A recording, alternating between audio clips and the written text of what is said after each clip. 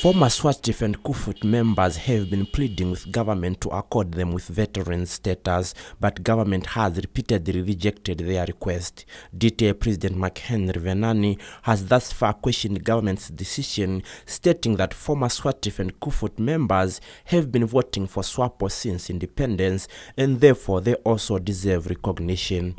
Venani further claimed that about 13,000 apartheid soldiers from the northern regions have now joined his party.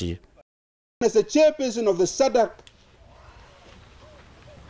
organ of defense and security, as a chairperson entrusted with the security of SADC, a president of our country, His Excellency, Doctor, you are making a statement saying that people, if they want to go to war, we are, we, we, they must go to war. And if Pohamba's government is not ready to invest in peace and security in this country, our government would be ready to do that. I just want to announce that we have received officially over 13,400 former SWATF members that have joined the party. 13,000.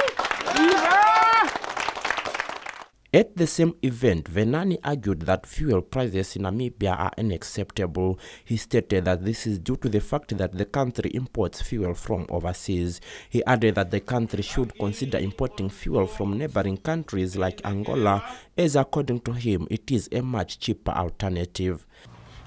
We have Angola next to our border. A petrol, a liter of petrol in Angola is $6. In Namibia, it's $13 we have failed for the last 24 years to make sure to bring support from Angola for them to be able to, for us to be able to import petroleum from them so that the four regions can really come down with the prices of petroleum. Under our watch, we are going to negotiate a better deal with the Angolans so that we create a small refinery here and bring petrol cheaper because if our the DTA president concluded that the high unemployment rate in Namibia is due to lack of skills development and should his party win the upcoming presidential elections, this trend will be corrected. I'm Aron Mushaukwa reporting for the news on One.